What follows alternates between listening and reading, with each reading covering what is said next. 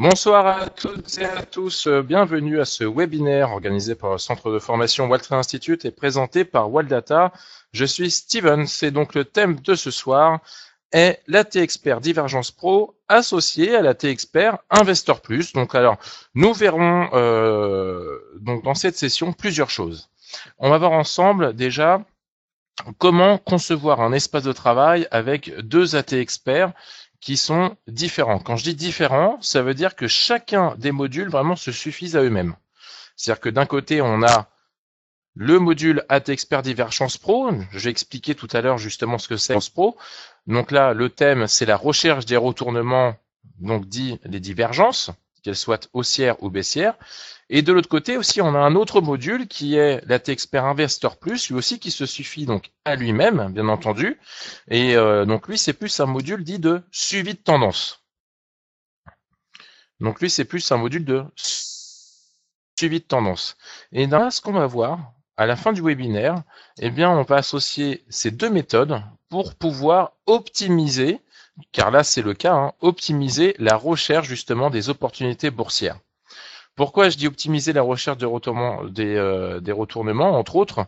Parce que en ce moment, en tout cas donc sur le marché de l'Euronext, là on va utiliser donc euh, l'exemple du, du marché du SRD, eh bien il y a énormément de divergences baissières. Donc ça veut dire quoi? Ça veut dire qu'on a justement un maximum de valeurs qui sont en train de se retourner. Si ça se retourne, on a deux possibilités. Ou on fait de la vente à découvert si on fait de la vente à découvert, eh bien, on va euh, alléger ses positions. Mais pour ça, il faut pas non plus prendre trop trop de risques. Donc c'est pour ça que ce soir, on va mêler ces deux AT experts.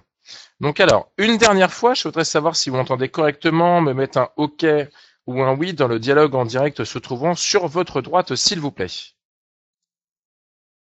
Alors, oui, oui, ok, ok, ok, ok, oui. Eh bien, bah, ça m'a l'air plutôt pas mal. Alors, autre chose aussi. Pendant le webinaire, comme d'habitude, je vais tenter de vous faire participer.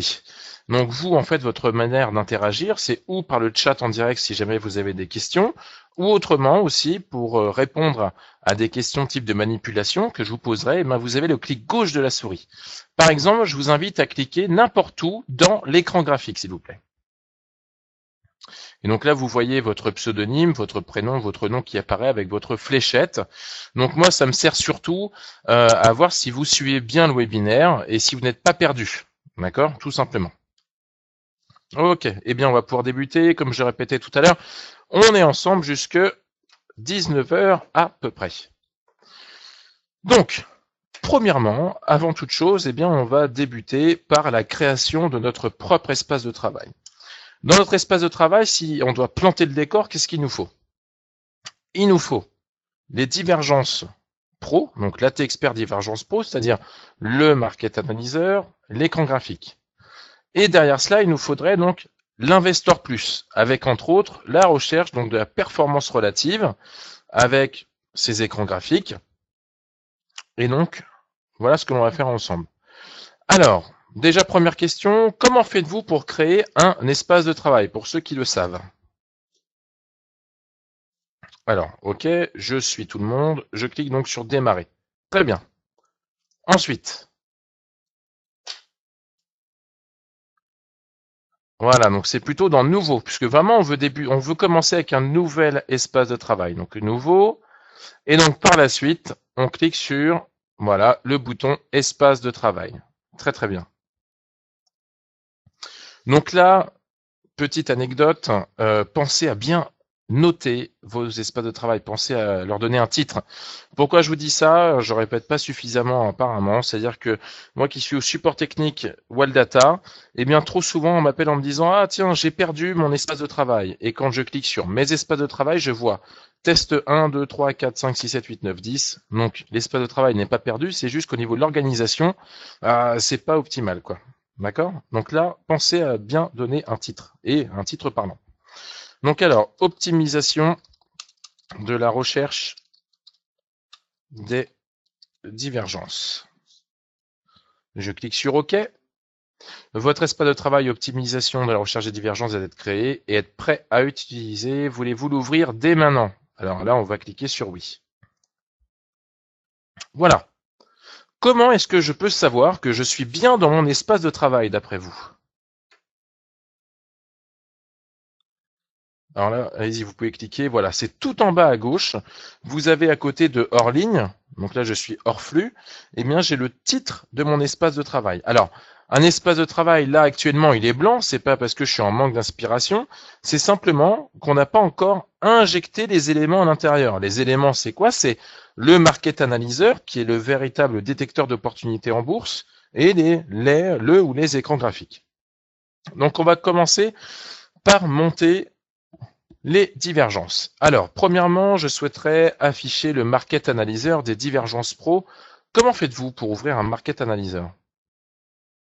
Voilà, donc le plus simple, c'est Outils, effectivement. Ensuite, voilà, très bien. Market Analyzer. Donc là, je retrouve tous les market analyzers. Alors peut-être que vous, vous n'avez euh, pas tout ce que j'ai là, parce que moi, en fait, euh, comme je suis sur un logiciel de démonstration, bien forcément, j'ai tous les modules additionnels, tous les AT Expert et AT Helper.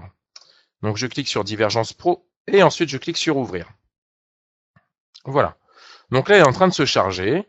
Donc quand on ouvre un nouvel élément, que ce soit un Market Analyzer ou un écran graphique Webmaster, il s'ouvre en mode pop-up. C'est une fenêtre volante.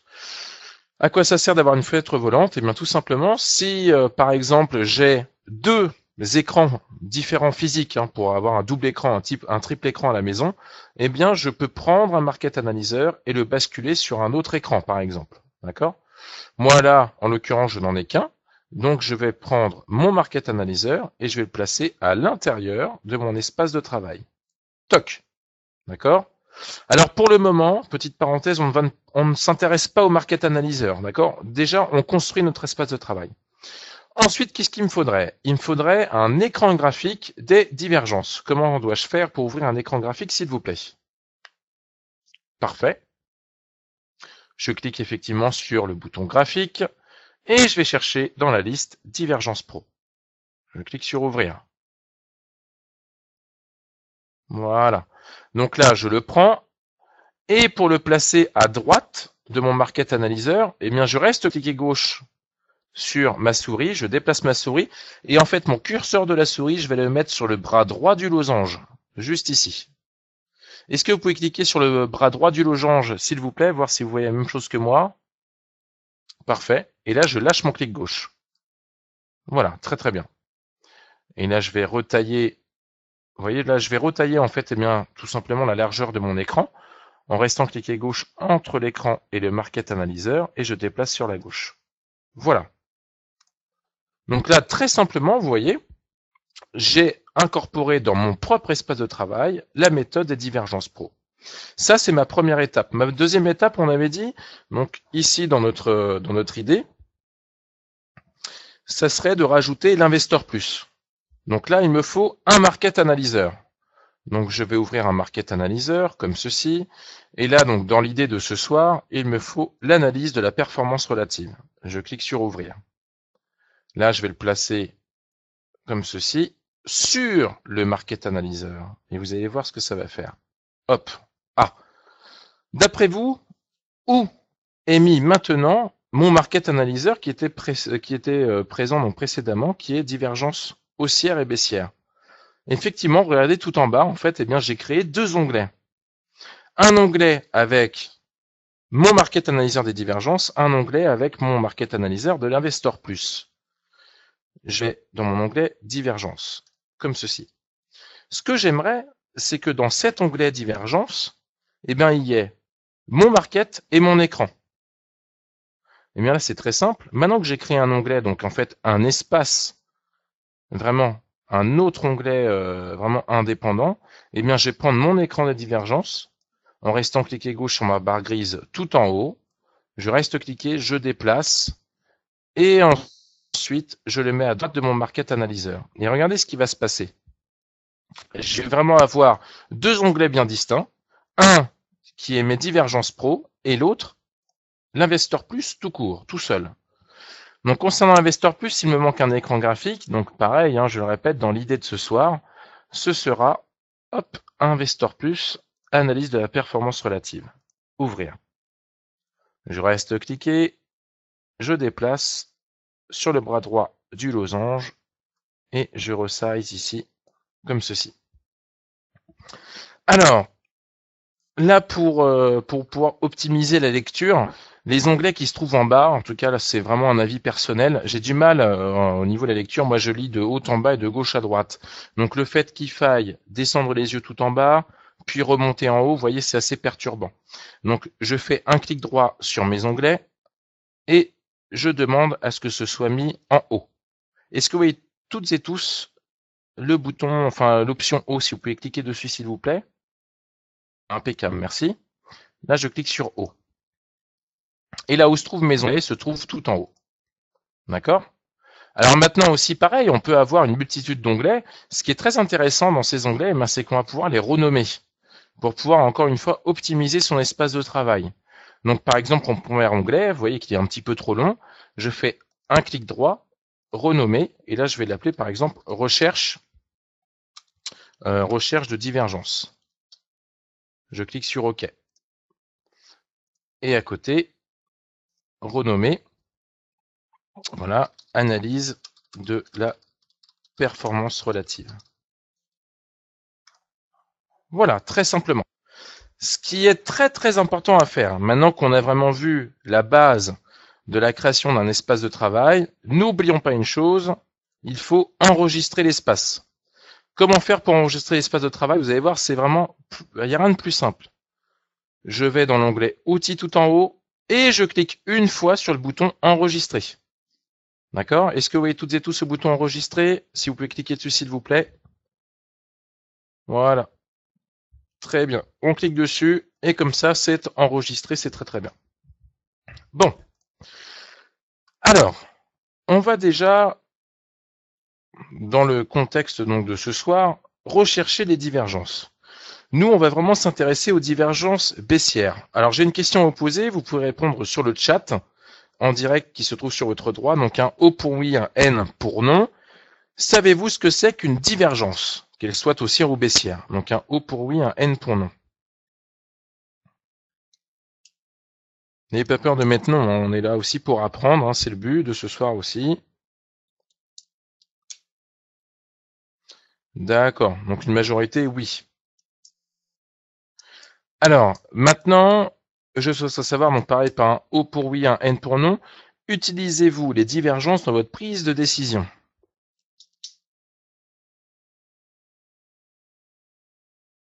Ah, J'ai beaucoup de oui quand même, hein. c'est très bien. D'accord, très bien. Et une dernière question. Voilà, une dernière question, pareil, un O pour oui, un N pour non euh, donc euh, concernant les divergences, est-ce que vous avez dans votre logiciel l'AT Expert Divergence Pro?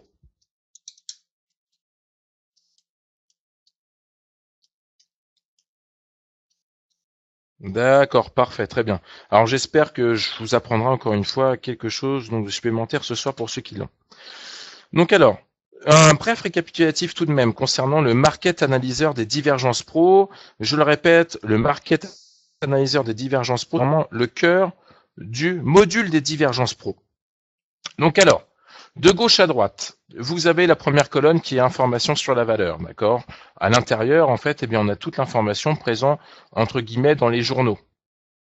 Le titre de la valeur, le dernier cours reçu, la variation depuis la veille et les volumes relatifs. Donc, c'est une moyenne des volumes sur 25 séances. On peut remarquer une chose aussi, c'est qu'au niveau de ces volumes, il y en a qui sont bleus, il y en a qui sont oranges. S'ils sont oranges, ça veut dire que c'est un volume exceptionnel, qui est supérieur à 100%. Ça veut dire qu'il se passe quelque chose sur la valeur. On ne sait pas si c'est à la hausse ou à la baisse, mais en tout cas, il se passe quelque chose. Maintenant, la troisième colonne, qui est détection des divergences haussières et baissières, c'est vraiment la colonne phare dans ce Market Analyzer Wellmaster. Ici est détecté automatiquement les divergences haussière et baissière. Alors une divergence, qu'est-ce que c'est? C'est tout simplement la déconnexion entre le cours et son indicateur.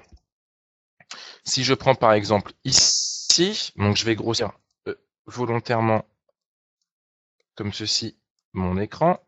Voilà. Hop. Voilà, comme ceci. Donc alors, qu'est-ce que je vais avoir? Je vais avoir dans la même période, entre le cours, donc tout simplement le graphique, donc les bougies japonaises, d'accord, ici, je vais avoir une hausse. Alors que de l'autre côté, j'ai mon indicateur, lui, qui représente donc plutôt une baisse. Donc vraiment, ils divergent, ils sont pas d'accord. Eh bien, c'est une divergence.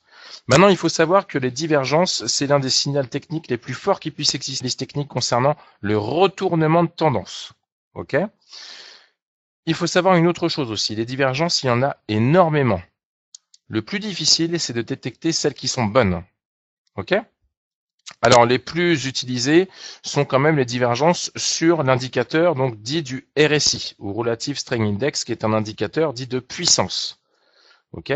Maintenant, il faut savoir une chose, et ça, euh, Data l'a mis en place pour vous, on va voir dans quelques instants, c'est qu'il n'y a pas que le RSI dans la vie. Il y a aussi d'autres indicateurs qui sont très très intéressants et qu'il faut vraiment tenir en compte qu'il faut, de, par exemple, il y a des indicateurs donc de, tendance, des indicateurs donc de, de volatilité choses comme ça, où les divergences sont vraiment très très très bien définies sur ce type d'indicateur. Et donc, ce qui est très intéressant aussi, c'est que comme il n'y a pas que le RSI, on va pouvoir s'intéresser à d'autres indicateurs, donc se polariser sur d'autres opportunités boursières. Dans le module des divergences pro, comme je le répète, hein, le module suffit à lui-même, hein, d'accord? Donc là, je le présente comme s'il était seul. Eh bien, c'est qu'on va avoir une détection de divergence, qu'elle soit haussière ou baissière, sur quatre indicateurs simultanément. Si je prends dans l'idée BNP Paribas, ok j'ai juste à lire de gauche à droite ce qui se passe dans la colonne. Voyez-vous la ligne BNP Paribas et la colonne détection de divergence haussière baissière Là où j'ai ma souris. Si vous pouvez cliquer à l'intérieur, s'il vous plaît. Parfait. Là, ici, j'ai déjà un carré rouge, tout simplement. Hein, c'est le rouge, c'est la baisse. Donc là, on a une détection de divergence baissière. À côté, on a ici évolution depuis la divergence, c'est-à-dire que depuis que la divergence a été détectée, on a une évolution de moins 2,50%. Moins forcément, vu que c'est la baisse, d'accord, on est en négatif au niveau de l'évolution. Et l'évolution, donc, elle a eu lieu il y a quatre barres, donc quatre jours, puisque là, nous sommes en jour. Attention, hein. Bien entendu, les divergences, vous pouvez les utiliser en intraday, en moyen terme ou en très long terme. Juste à côté, on vous donne une autre information qui n'est pas à mettre de côté. C'est le RR, ou le risque rentabilité, le risque reward. Le risque reward, eh bien, c'est une stratégie qui est vraiment très très simple. On a une opération qui est, qui est donnée, admettons donc euh, baissière, on a un stop et une cible. Lui fait tout simplement un ratio qui est de 3. C'est-à-dire que lui, un risque-reward, pour qu'il soit bon, il faut que l'objectif de gain net espéré soit trois fois supérieur à une perte nette, je mets entre guillemets, non espérée. OK? Donc sur Risk Reward aussi, pareil, si, euh, ce qui est très intéressant d'avoir un outil comme celui-ci extrêmement puissant, c'est-à-dire que vous n'avez pas besoin d'avoir votre calculatrice et votre bloc-notes à côté, d'accord hein euh, Là, on n'est plus en, euh, on est dans un monde où on n'a plus de temps à perdre. Donc là, on vous donne cette information. Et on vous donne la petite boule verte à côté en vous disant que la stratégie est plutôt bonne. On vous dit tout en bas, vous voyez dans le cartouche qui apparaît, qui est un AT-Sense, qui vous donne eh bien, euh, l'approche AT, ou en tout cas ce que veut dire le signal dans la colonne, ici des divergences, donc je lis ratio risque-reward tout en bas, 3,07, excellent. Attention, ratio risque-reward frais inclus, 2,82, donc légèrement inférieur à 3. ok? Mais le plus intéressant dans tout ça, c'est ce qui a marqué juste en dessous. Est-ce que vous voyez toutes et tous RSI, stock, WTI, MACD si vous pouvez cliquer sur l'un des quatre, par exemple, s'il vous plaît. Voilà, très bien. On remarquera une chose. Euh, là, nous sommes dans l'idée sur BNP Paribas. Et en dessous, vous voyez LVMH. J'ai pas quatre indicateurs de cocher. Ça veut dire quoi? Ça veut dire que dans la recherche des divergences sur BNP Paribas, il y a un calcul instantané et en temps réel qui est fait. Là, il nous dit que sur BNP, par exemple, il a détecté une divergence baissière sur le RSI, le stochastique, le WTI et le MACD. À l'inverse, sur LVMH juste en dessous, il détecte une divergence baissière sur la stochastique et sur le MACD. Sur le RSI, sur le WTI, il n'y a pas de divergence de constater. Petite particularité technique, ça vous le ferez à la maison, hein, c'est si vous voulez peaufiner votre recherche de divergence, eh bien vous avez la possibilité de sélectionner, c'est un choix à faire, parmi ces quatre indicateurs qui sont calculés simultanément, eh bien vous avez le choix parmi une liste de 10 indicateurs techniques. Comment faire? C'est très simple. Il suffit de cliquer sur la clé à molette et le marteau qui se trouve tout en haut de la colonne. Est-ce que vous voyez toutes et tous la clé à molette et le marteau à côté du sigle euro Si vous pouvez cliquer dessus, s'il vous plaît, c'est parfait. Alors j'attends que les fléchettes disparaissent. Parfait. OK. Alors je vous explique brièvement, hein, parce que bon, le, but de ce soir, c'est pas de rentrer vraiment dans les entrailles de la Texpert Divergence Pro, mais c'est pour aussi vous situer un petit peu hein, comment ça se passe. On va s'intéresser euh, tout à droite, vous avez indicateur 1, 2, 3, 4. Est-ce que vous voyez indicateur 1, 2, 3, 4 Si vous pouvez cliquer dessus, s'il vous plaît. Voilà. Très très bien, parfait. Donc là, vous voyez en fait indicateur 1, 2, 3, 4. J'ai le RSI, c'est bien remis là, stochastique, WTI et MACD. Eh bien, si par exemple, euh, je sais pas, tiens, la stochastique ne m'intéresse pas, je veux mettre un autre indicateur, je clique sur stochastique, et là j'ai le choix entre le, CCI, MACD, MACD Histo, MACD Zero Lag, le MFI, Momentum, ROC, Stochastique, WTI. Nous, on a vraiment référencé les indicateurs les plus utilisés dans le monde de la bourse et aussi les plus utilisés, entre guillemets, par les professionnels. Euh, j'ai déjà eu quelqu'un au téléphone qui m'a dit oui, 350 indicateurs, pourquoi vous les mettez pas tous à l'intérieur? Bon, d'utiliser 350 indicateurs d'une, ça ne sert à rien. En tout cas, ça c'est vraiment euh, c'est vraiment mon, opinion perso. Euh, maintenant, il est préférable quand même d'utiliser des indicateurs qui existent depuis la nuit des temps, puisque s'ils si, utilisent depuis la nuit des temps, c'est qu'ils fonctionnent et qu'ils sont viables. D'accord? L'indicateur de euh, Toto qui me détecte la, je sais pas quoi, euh, qui dure que deux jours et après sur les forums, etc., on les voit plus, c'est qu'il y a forcément une raison. Donc là, en tout cas, vous sélectionnez l'indicateur que vous souhaitez. Autre chose aussi, autre particularité, le RSI, par exemple, là, on se dit, ah, tiens, il existe le RSI 9, le RSI 14, j'aimerais bien mettre le RSI 12. Eh bien là, pareil, vous pouvez le peaufiner à votre guise. Une fois que j'ai sélectionné RSI en haut, je clique sur la clé à molette et le marteau juste à droite, et là, je peux changer, si je le souhaite en tout cas, la période de calcul, les niveaux de surachat sur-vente et les seuils d'invalidation aussi au niveau des divergences baissières et haussières. OK? Tout est absolument peaufinable, adaptable à votre méthode de travail si vous en avez déjà une. Donc là, c'est très très bien. Une fois que c'est fait, j'ai plus qu'à cliquer sur valider. OK? Il n'y a rien de plus simple. Donc là, on était sur la détection des divergences baissières. Il faut savoir que lorsqu'une divergence est toute nouvelle, euh, là, je vais me mettre sur le SRD, ce sera mieux. Alors, je clique sur SRD. Voilà, j'attends la fin des calculs. Donc là, pareil aussi, particularité technique, hein, le temps que, que ça calcule, vous avez la possibilité, si vous le désirez en tout cas, de mettre deux colonnes côte-côte, qui sont détection de divergence haussière-baissière et l'autre détection de divergence haussière-baissière, mais avec deux périodes de temps différentes, une en jour, une en semaine, une en heure, une en quatre heures, bref, comme vous le souhaitez.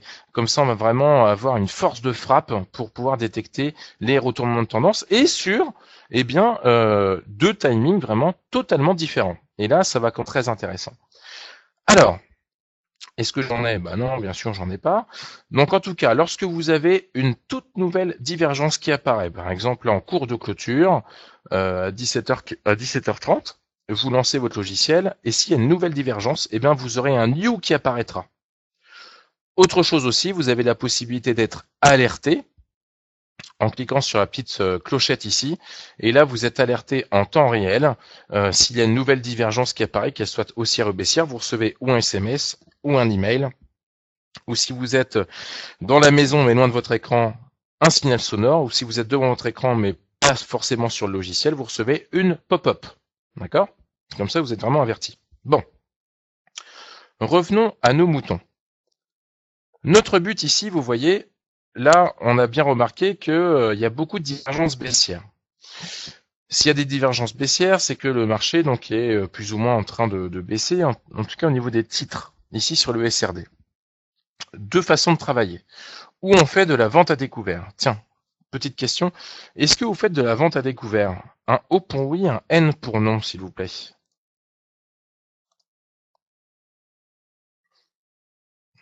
Non, non, non, oui, non.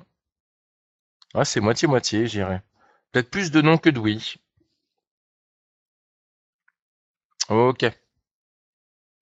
Alors, la vente, la vente à découvert, ça consiste quoi? Ça consiste à vendre à découvert, c'est-à-dire qu'on vend en haut et on espère justement que le cours va baisser pour faire un rachat en bas et donc faire une plus-value sur la baisse du titre, tout simplement. Donc le marché des CRD permet de faire ça, faire ça, la vente à découvert. Autrement, deuxième aussi possibilité d'utiliser les divergences, c'est si par exemple on a profité de la hausse, eh bien, on se dit au bout d'un moment où il faut sortir de la valeur, ou autrement il faut alléger ses positions. D'accord? Donc la détection de la divergence baissière permet de faire cela aussi. Bon. Alors premièrement déjà, ce que je souhaiterais, c'est que dans mon market analyzer à gauche, il ne me donne que les divergences baissières. D'accord? Puisque les divergences haussières, je ne veux pas les utiliser pour le moment. Comment dois-je faire? C'est très simple. Je vais utiliser mon outil de paramétrage qui se trouve tout en haut. Donc en cliquant sur la clé molette et le marteau. Voilà. Et dans mon option de sélection et affichage, là c'est marqué afficher toutes les valeurs de la liste. Je clique dessus et je lui demande d'afficher toutes les valeurs avec les divergences baissières, simplement. OK? Je clique dessus et je fais valider. Là, je le laisse travailler. Voilà, pour qu'il ne m'affiche vraiment que les divergences baissières. Alors le but, ce sera de mettre de côté toutes les valeurs qui ont une divergence baissière. D'accord? Tout simplement. Donc, de créer une liste personnelle. Alors 70%, 80%, vous voyez, ça va quand même, ça va quand même assez vite. Voilà. Donc là déjà, je passe de 118 valeurs à 33 valeurs. Donc il y a quand même pas mal de divergences. Est-ce que vous voyez le filtre qui a été effectué? Où est-ce que je peux le voir? Où est-ce que je peux le constater qui m'a éjecté des valeurs qui ne correspondent pas à ce que j'ai demandé? Parfait. Alors regardez plutôt en bas à gauche, 33 sur 118. D'accord?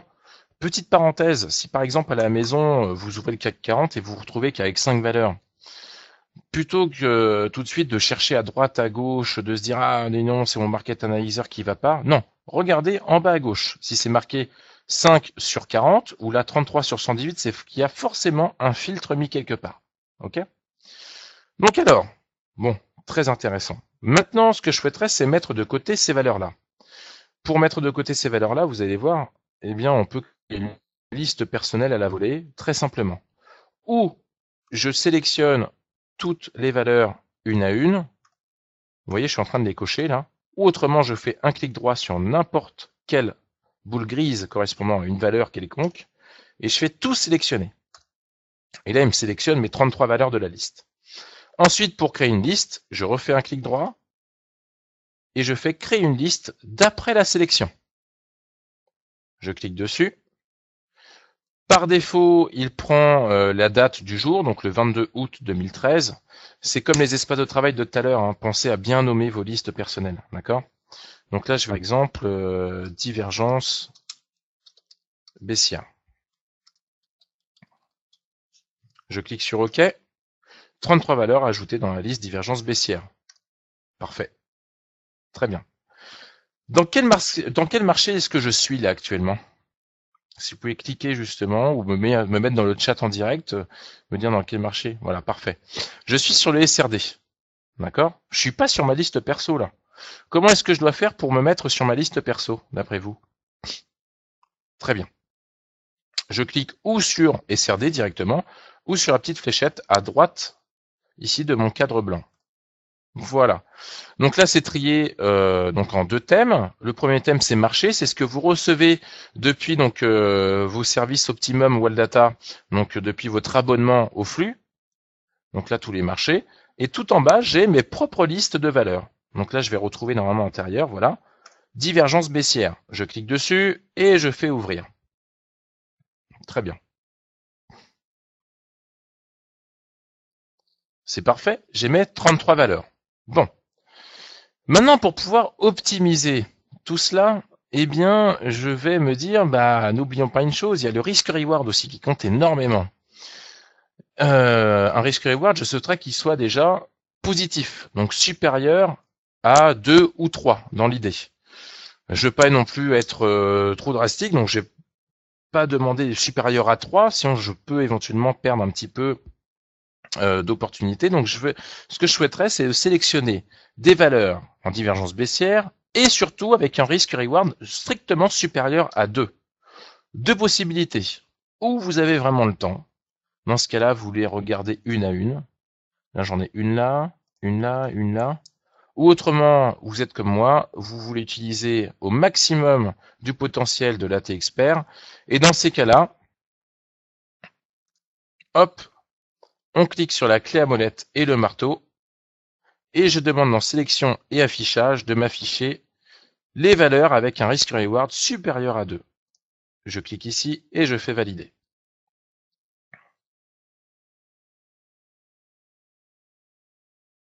J'attends la fin des calculs. Donc n'oublions pas, nous étions sur le SRD. Donc nous avions 118 valeurs.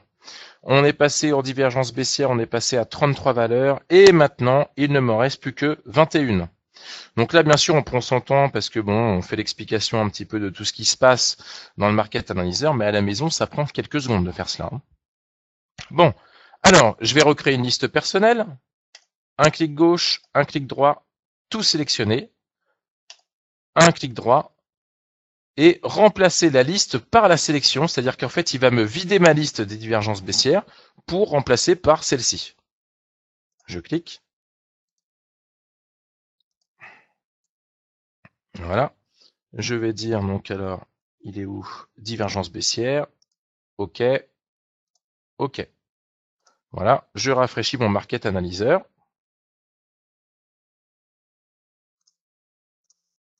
Alors, je vais me mettre par exemple sur le CAC 40 et je reviens sur ma liste perso. Divergence baissière. Donc là, il me reste plus que 21 valeurs. D'accord? Donc là, vraiment, la recherche des retournements a été faite. Parfait. Alors maintenant, vous voyez, le problème qui va se passer, c'est que euh, même quand on a une vingtaine de valeurs, on ne peut pas se permettre de se positionner euh, sur toutes ces valeurs-là. D'accord? Ça serait vraiment un, trop gros travail, sauf si vous avez euh, une vingtaine de stagiaires qui fait euh, tout ça pour vous, bien entendu. Donc là, ici, ce que je vous propose, eh c'est d'utiliser maintenant, en deuxième step, en deuxième étape, l'analyse de la performance relative. D'accord? C'est d'utiliser notre liste personnelle que l'on vient de créer ici, et de le mettre dans un autre filtre pour pouvoir, on espère en tout cas, arriver à une à cinq valeurs maximales avec vraiment un fort potentiel baissier. Donc alors, pour ce faire, c'est très simple. Je retourne dans Analyse de la performance relative, comme ceci. Attention, petite parenthèse. N'oublions pas que dans la recherche de divergence, nous allons en données journalières, en jours sur deux ans. Par défaut, l'analyse de la performance relative, comme il est plus adapté entre guillemets aux personnes faisant l'investissement long terme, il est par défaut en unité de temps majeure, donc en semaine. N'oublions pas de se remettre donc en journalier, en unité de temps principale. D'accord? Hop. Et voilà. Alors, qu'est-ce que je fais dans un premier temps? Dans un premier temps, tout de suite, là nous sommes sur le CAC 40, je souhaiterais afficher ma liste personnelle. Donc je vais dans marché et je descends tout en bas, je vais chercher divergence baissière. Ouvrir. Très bien. Donc là, je me retrouve vraiment avec donc mes 21 valeurs qui sont passées donc dans ma moulinette de ma recherche de divergence baissière. D'accord? Ça, c'est très très bien.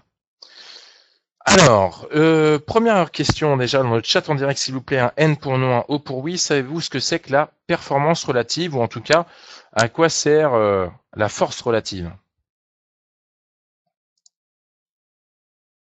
Un O pour oui, un N pour non. Donc alors là, j'ai du oui, j'ai du non. C'est vraiment moitié-moitié en fait. Hein, j'ai vraiment l'impression. D'accord, très bien. Alors, pour ceux qui savent ce que c'est, est-ce que vous l'utilisez au quotidien ou en fin de semaine pour analyser justement ou en tout cas peaufiner vos analyses? Alors oui, non, non, non, oui, oui, non, d'accord. Là, il y a quand même plus de non que de oui. Hein. Ok. Alors là, c'est vraiment très intéressant d'utiliser ce genre d'outil, hein. vraiment, vraiment. Ça vous permet, bon là, je vais, je vais faire bref, hein, Bien entendu, mais là pareil, je vous inviterai aussi, si vous voulez vraiment voir tout le contexte euh, sur la performance relative et la force relative, c'est d'aller consulter donc le webinaire qui a été fait sur euh, l'Investor Plus et sur les stratégies entre autres de long short equity, euh, etc. Où vraiment là on reprend tout de A à Z. C'est vraiment très intéressant et même pour ceux qui connaissent, ça pourrait éventuellement peut-être vous apprendre certaines bases, d'accord?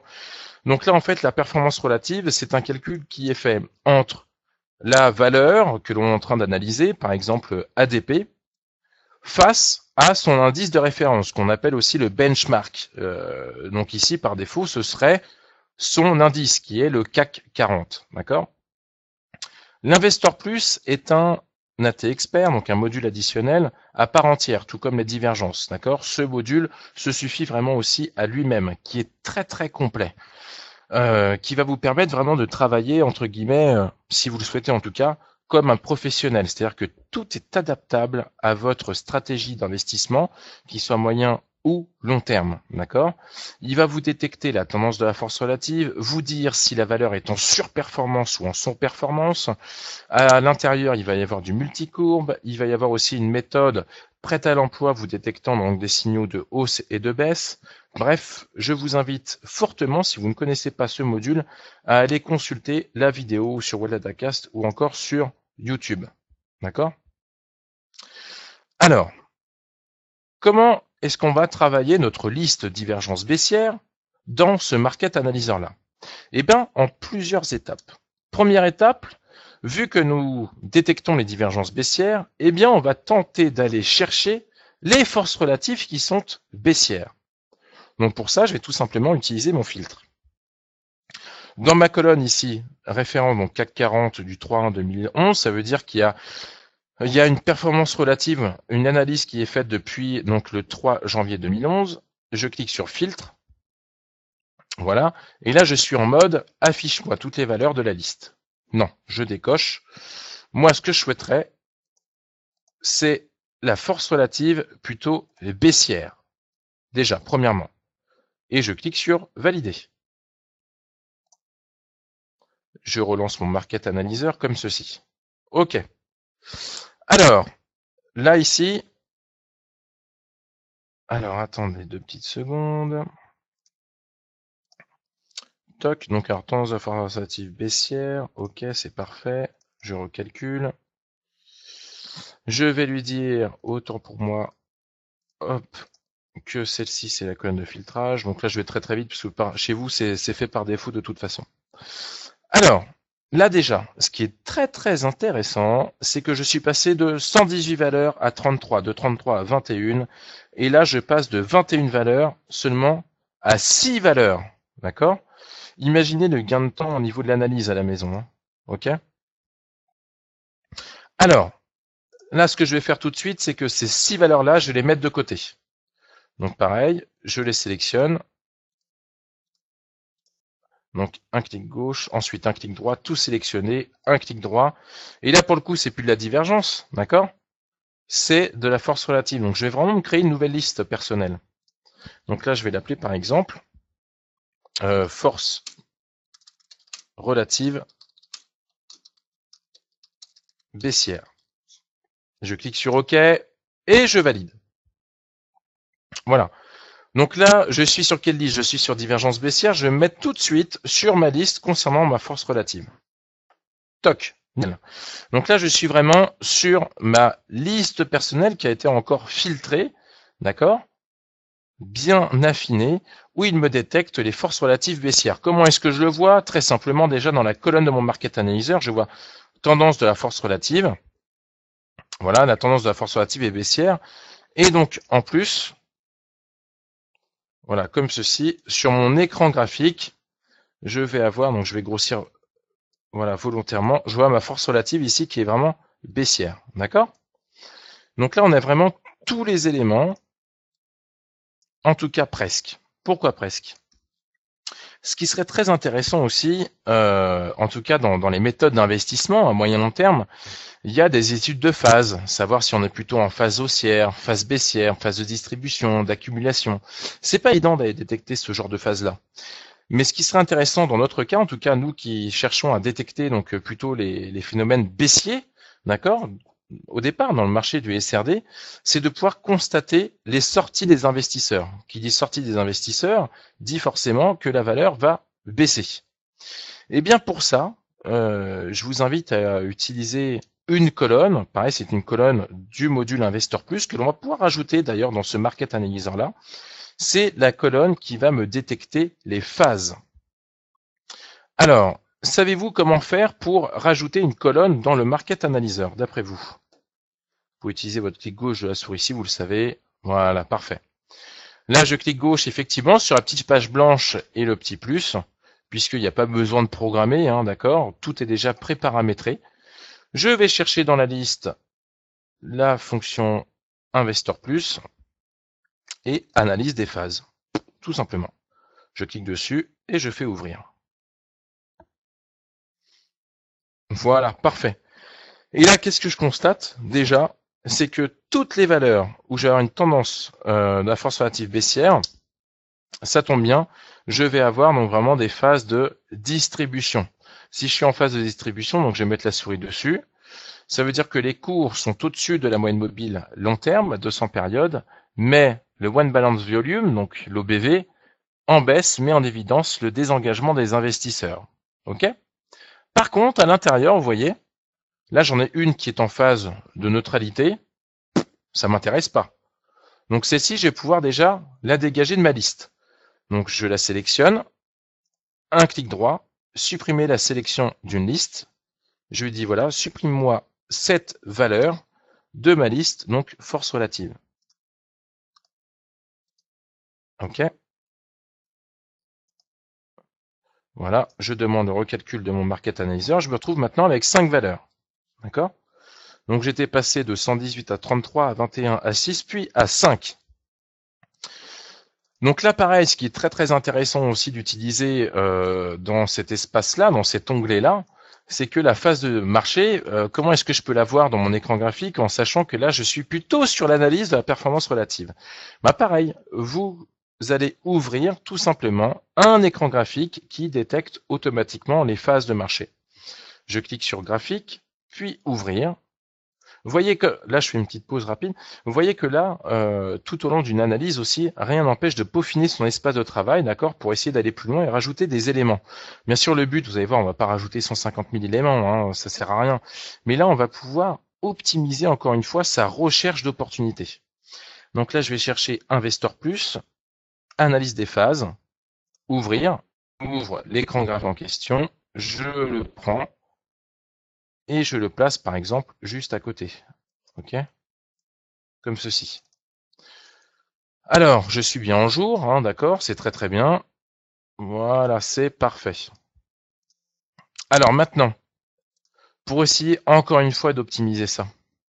Là, on peut se dire, ah ouais, mais écoute, Stevens, euh, là, tu vas, euh, tu vas peut-être un petit peu loin parce que bon, là, c'est peut-être justement euh, un petit essoufflement de rien du tout. Ça va peut-être repartir à la hausse.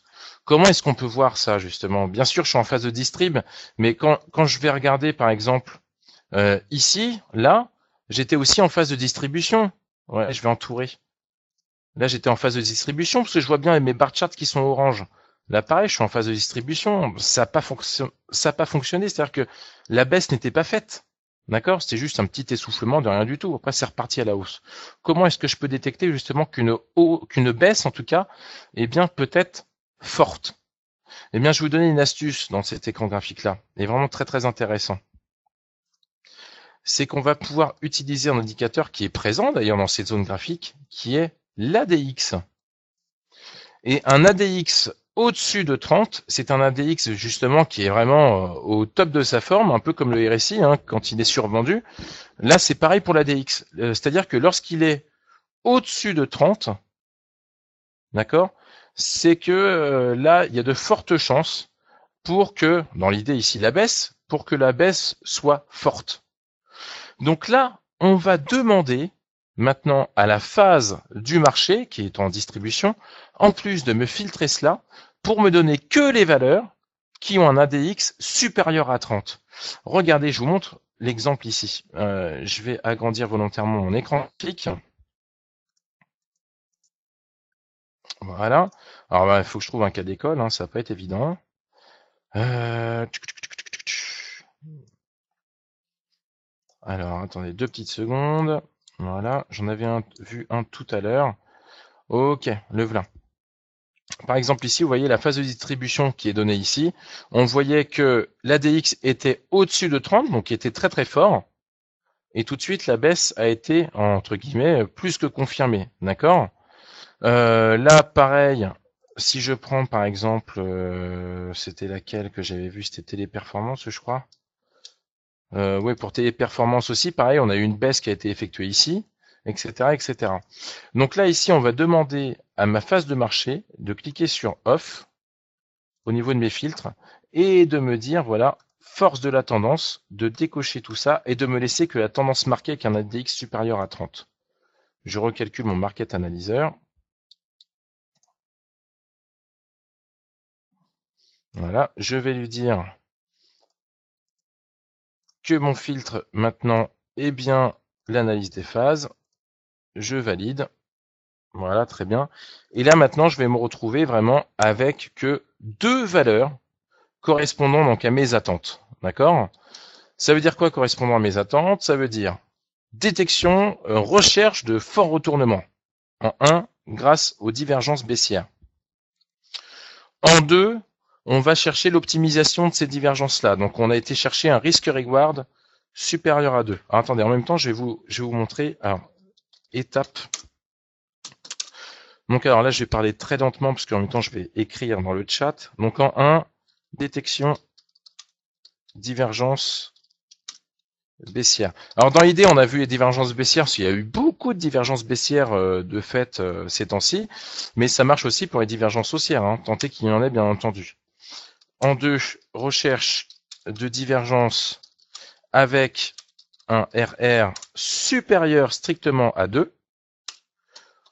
En 3, donc bien sûr, on a créé une liste, etc. On va faire euh, donc filtre sur une force relative dite baissière.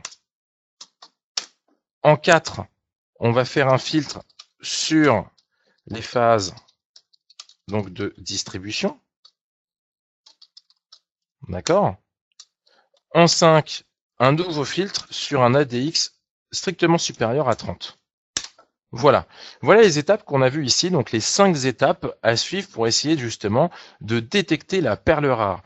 Vous voyez ce genre d'étapes-là, en fait, eh il faut savoir que c'est, euh, en gros, sont des étapes euh, très carrées et beaucoup utilisées par les professionnels, d'accord? Donc là, très simplement, vous voyez qu'un outil qui est très épuré, très puissant, eh bien, vous allez pouvoir effectivement refaire ces étapes-là et très rapidement dans votre logiciel. Une fois que l'espace de travail est monté, il n'y a plus rien à faire à part euh, bah, juste changer de liste, créer ses listes personnelles. Hein. C'est tout ce qu'il y a à faire. Bien sûr, euh, vous êtes le seul décideur. En étant le seul décideur, après c'est à vous, bien entendu, d'aller vos analyses euh, dites chartistes, hein, entre autres, donc au niveau des analyses chartistes, il existe euh, plein plein de choses.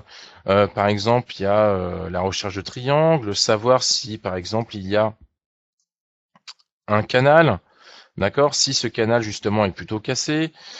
il va y avoir bien sûr les lignes obliques, les supports résistance, des choses comme ça. Il y a le retracement de Fibonacci. Alors, concernant le retracement de Fibonacci, ce qui est très intéressant, c'est si bien sûr, si et seulement si vous avez dans votre logiciel la méthode des divergences pro, rien ne vous empêche dans l'écran graphique de l'analyse des phases de rajouter l'assistant visuel, en sur la petite baguette magique en haut à gauche, eh bien, l'assistant visuel des divergences pro. Pourquoi? Puisque automatiquement est tracé le retracement dit de Fibonacci. D'accord?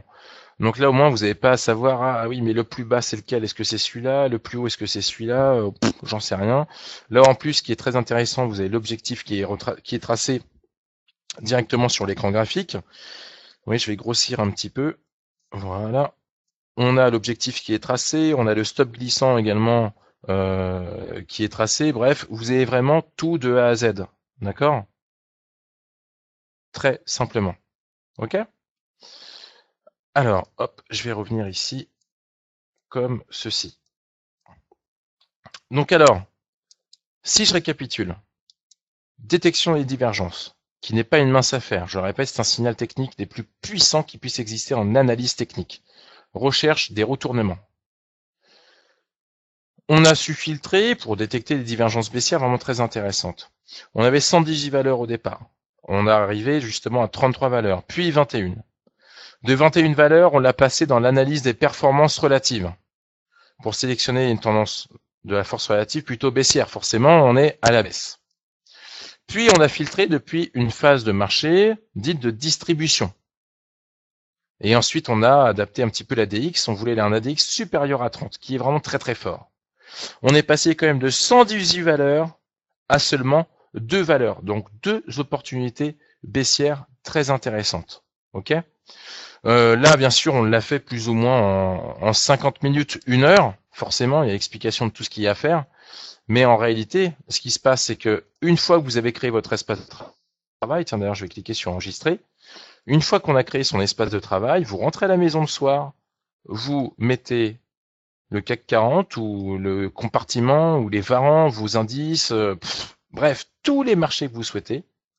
Le market analyzer, vu qu'il est déjà filtré, il vous donne les valeurs en divergence baissière avec un RR supérieur à 2. Il vous suffit juste de créer une liste personnelle, bien entendu. La liste perso, vous la mettez dans votre performance relative et terminé. Sincèrement, vous en avez pour une, allez, à deux minutes, grand max, si vous avez en plus un café dans l'autre main. D'accord? Là, au moins, vous avez toute la puissance des market analyzers dans un seul espace de travail. D'accord? C'est-à-dire que là, on a réussi à combiner, si je puis dire, deux méthodes de travail indépendantes et très puissantes qui se suffisent à elles-mêmes en une seule méthode de travail. En réalité, qu'on a peaufiné, ça devient notre propre méthode de travail. D'accord? Et tout ça, bien entendu, de votre logiciel OneMaster XE. Alors, maintenant, avant de finir, hop, je vais me rendre sur Internet. Pourquoi? Pour vous montrer plusieurs choses. Euh, premièrement, déjà, sachez qu'il y a des offres en cours sur les modules additionnels et pas des moindres. D'accord? Pour acquérir la Vestor Plus, vous avez plus de 100 euros. Ça, ce sont des offres d'été, donc n'hésitez pas à en profiter. Et euh, pareil, en cliquant dessus, donc vous avez vraiment les caractéristiques. Vous avez vraiment donc les caractéristiques euh, donc des différents modules.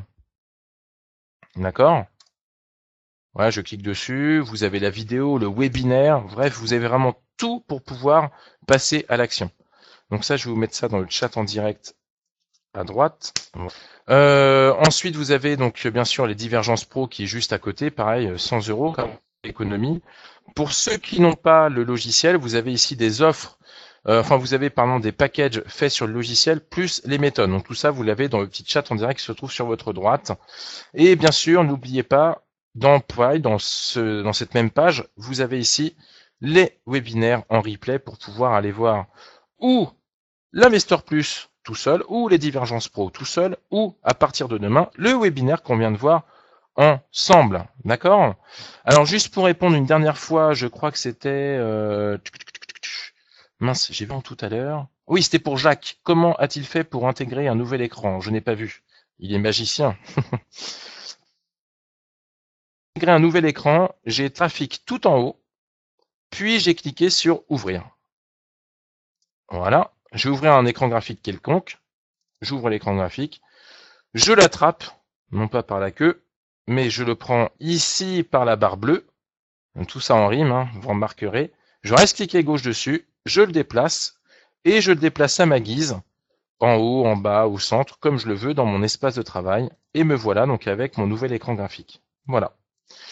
En tout cas, donc toute l'équipe de Wildata euh, se joint à moi pour vous remercier vivement de votre attention et de votre fidélité, en espérant que vous aurez passé de bonnes vacances pour ceux qui sont partis ou que vous passez ceux qui y sont toujours. On vous souhaite une euh, bonne soirée, une bonne fin de semaine et à la semaine prochaine pour un webinaire spécial. N'hésitez pas à vous inscrire sur le site de waltraininstitute.com. À bientôt. N'hésitez pas à nous contacter. Nous sommes là jusqu'à 19h30 pour répondre à vos questions. Si ce sont des questions dites entre guillemets techniques, à savoir tiens comment je fais ceci cela. Par contre, je vous demanderai de m'appeler plutôt demain à partir de 8h30 pour pouvoir euh, prendre un rendez-vous euh, technique dans la journée de demain. Merci en tout cas. À bientôt pour un prochain webinaire et bonne soirée. Au revoir.